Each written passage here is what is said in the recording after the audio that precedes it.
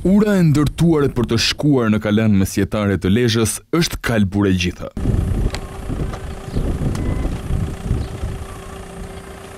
Një vit më parë u premtua se do të ndërhyej, por kjo gjë nuk ka ndodhur. Sot, situata vetëm sa është përkeqësuar. Kjo është ura nga e cila duhet të kalojnë turistët për të vizituar Kalanë e Lezhës. Ashtu si osmanët pesëqind vjet më parë, edhe turistët apo vizitorët duhet të gjejnë një mënyrë tjetër për të kaluar dhe pushtuar Kalanë e Lezhës, sepse nga kjo urë nuk kalojnë dot. Nga një atraksion turistik, Kalaja e Lezhës është tani një rrezik për vizitorët dhe banorët, shtëpitë e të cilëve ndodhen poshtë kalasë.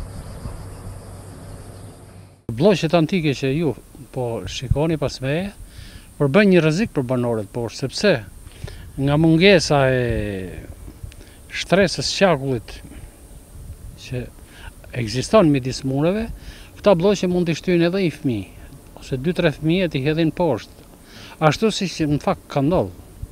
Gurë të stërmëdhenj në murin e shekullit të katërt para Krishtit kanë nisur të bien Të tjerë rrezikohen.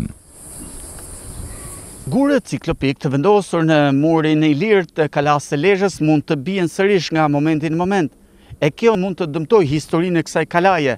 Specialisti i Drejtorisë së Trashëgimisë Kulturore, Ded Margjoni, thotë se askush nuk i jep përgjigje përse nuk kanë nisur punimet apo kur do të nisin ato.